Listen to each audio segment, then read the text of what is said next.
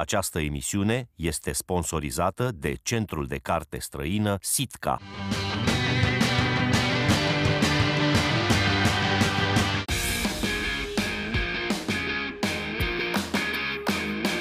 Good afternoon, everyone. I hope you are as excited as I am to embark on this incredible learning journey together. My name is Andreea Moldoveanu, and I'm absolutely happy to be your teacher this session. I'm a teacher of English at secondary school number 40 and I have been teaching English for more than 12 years. With a passion for education and a commitment to your success, I'm here to support and inspire you every step of the way. Get ready for our lessons and thought-provoking discussions. Buckle up because the adventure starts now. Now, I will introduce my new students for today, Raisa and Irina. Hello girls, how are you? Hi. Hello. Raisa, fine. how was your day at school? It was great. Irina, what about you? Mine was too. Did you get any marks, any good marks? Yes, I did. Okay, so your marks were better than Irina's marks? I think so. Okay, so our lesson is entitled Adjectives. We'll talk about comparative and superlative. So, uh, by the end of the lesson, my students will be able to identify adjectives in the story, write simple sentences containing adjectives, and make sentences with comparatives and superlatives. Now, Raisa, you'll have to read the story carefully. And after that, we'll have to identify the describing words. The little fish and the big fat bean. One day, a little fish was swimming in the river with her mother. The, the water was clear and warm, but the little fish wanted to swim faster and go farther. So the little fish swam on and on till the till she reached the river bank. She looked, and there, growing on the bank, she saw a large bean beanstalk on the beanstocking of big fat bean. The little fish thought that she had never seen anything so fine. Hello, Fatso, she called on the bean. Hello, Midge, the bean called back. The little fish felt very hurt that she should be called that. That uh, she burst into tears and hurried off to complain to her mother about it. Oh, mother, she wailed. The big fat bean called me Midge. Of all things, I'm not as tiny as that, am I? I even have a tail. Perhaps you hurt the bean's feelings yourself in some way, said the mother fish. Oh, no, mother dear, I didn't. Well, let's swim back to the bank again, and I'll ask the bean what made him say such a thing. And yeah, and the two of them, mother and daughter, made for the bank. Good morning, Mr. Bean, the mother fish called. Good morning to you too, Mr. Fish, the bean called back. Tell me, Mr. Bean, what made you hurt my little daughter's feelings? What did you call Midge? She only got what she deserved. She called me Fatso, so I called her Midge in return. Okay, thank you. Irina, let's underline and identify the describing words. Little, clear and warm. There's little again. Uh, faster, big, After big, we have fat. tiny. Raisa, can you please help Irina? Before Tiny was big fat, Yes. So after tiny, what do we have? Irina, did you find another word? If we have a new one, of course. I didn't find one. I don't know if oh. there is. Okay, let's go further. So the ones that we underlined were adjectives. The adjectives describe objects, people, and animals, and they always come immediately before the noun. We have here an example, a red balloon. Balloon is a noun, and the word red is an adjective. So the adjectives have different forms. They are positive, comparative, and superlative. One way to describe a person or thing is by saying they have more of a particular quality than someone or something else. To do this, we use comparative adjectives, which are formed either by adding er at the end of the adjective or placing more before it. We have here two examples. This piece of cake is bigger than that one. She is more intelligent than her sister. The second rule is also possible to describe someone or something by saying they have more of a particular quality than any other.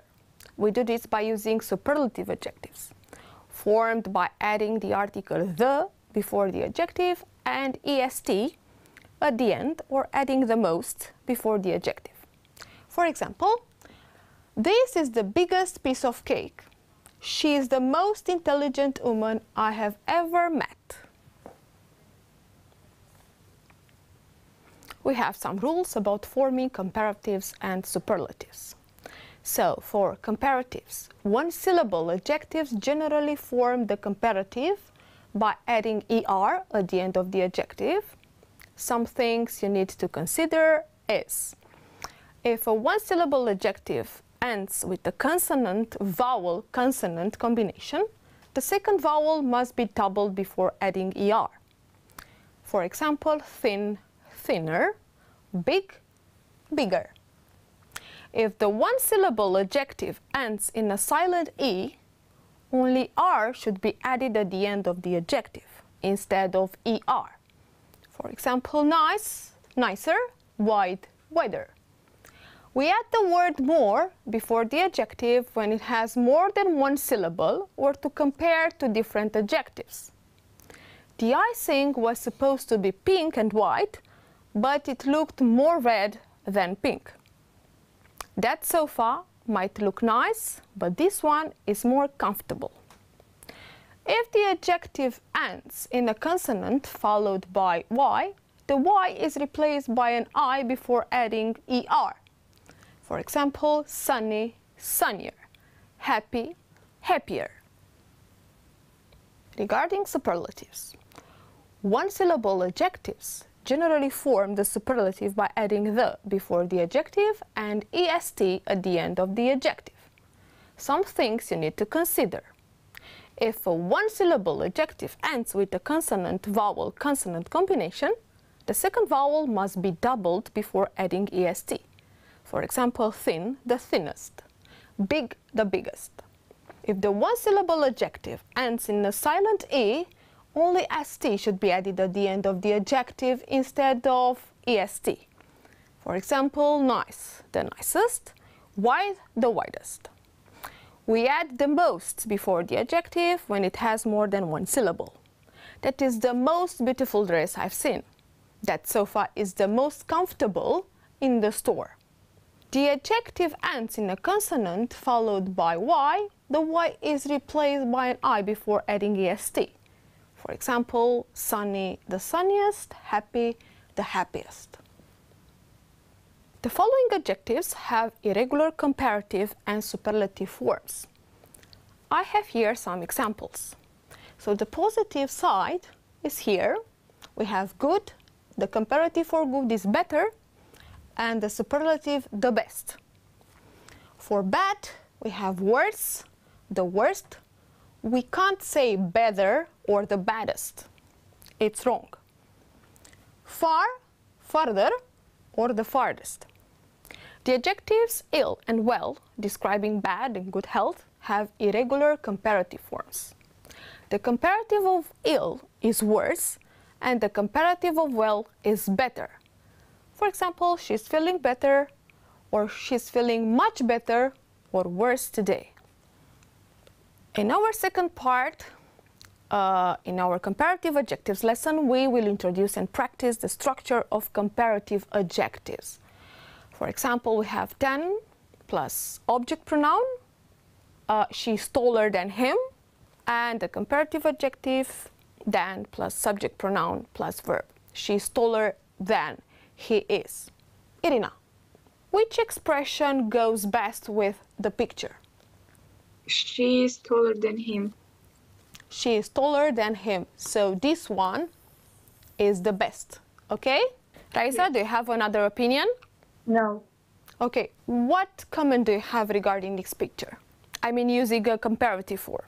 Like, uh, do you think uh, she's uh, uh, more beautiful than him? Yes, she also has longer hair than him.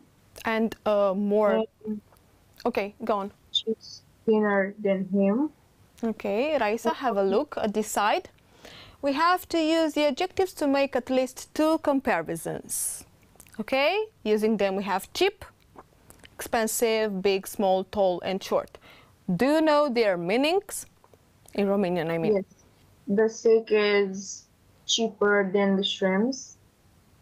The shrimps are more expensive than the chicken.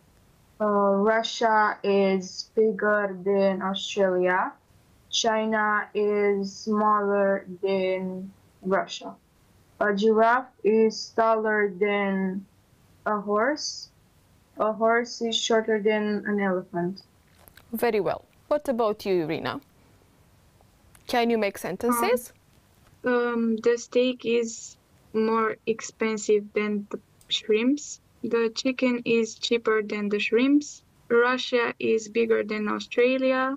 Australia is smaller than Russia. Elephant is shorter than the giraffe. The giraffe is taller than the horse. Okay, thank you. Here, we will introduce and practice the structure of us plus base adjective plus us to show comparisons of equality. We have here an example. This house is as large as the other house. Raisa, what do you think? On the left side, I mean. We have here the words. Let's make some sentences. Apples are as sweet as pears. Grapes are as delicious as apples. Grapes are healthier than pears. A pumpkin is healthier than grapes. A lemon is more sour than a pumpkin. Okay, Irina, and for these, The Eiffel Tower is as busy as the Statue of Liberty. The Statue of Liberty is as beautiful as the Eiffel Tower. London Wheel is more interesting than the Statue of Liberty.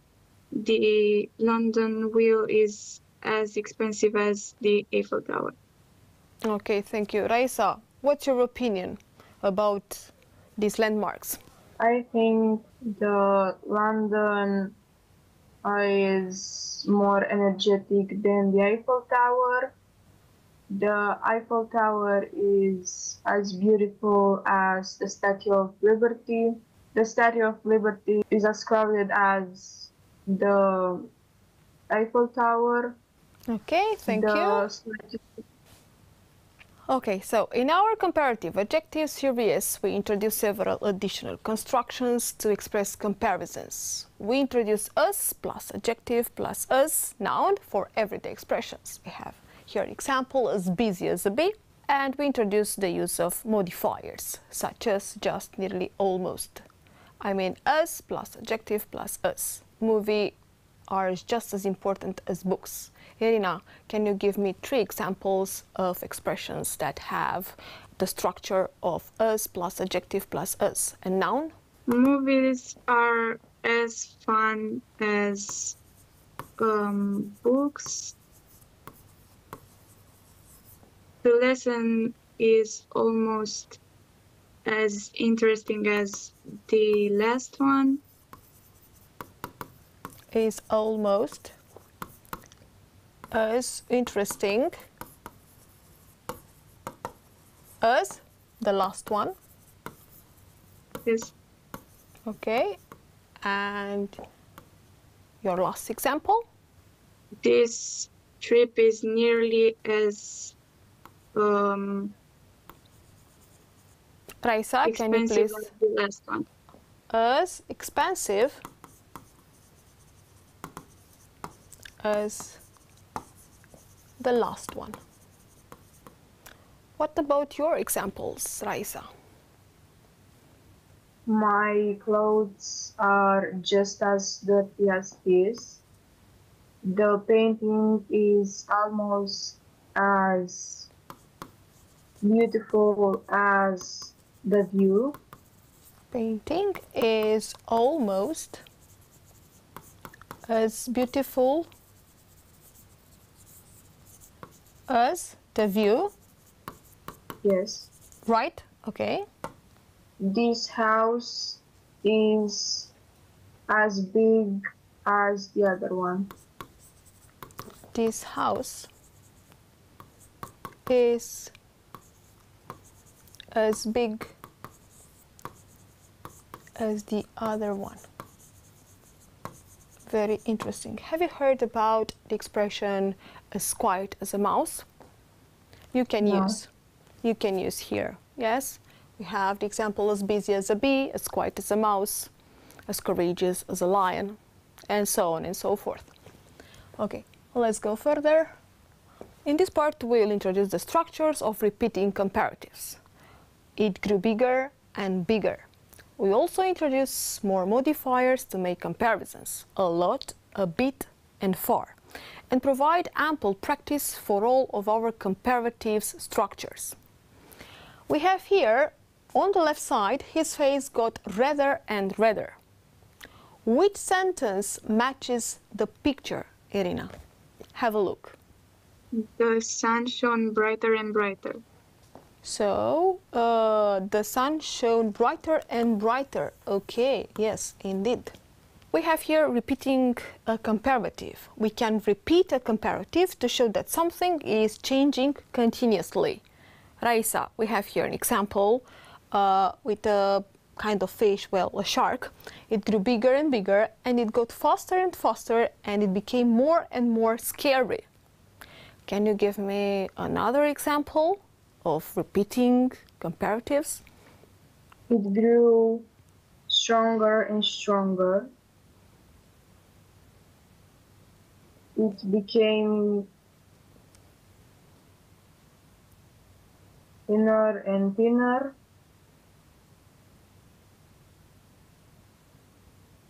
It grew longer and longer. Mm-hmm. Irina, can you give me your example?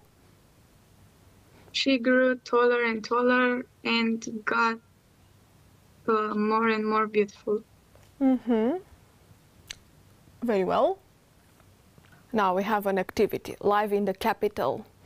So I have found as a teacher that most of my students have no idea at all of what life is really like in the countryside, and neither do I. Actually, however, most people will have something to say about life in the capital city versus life in another part of the country.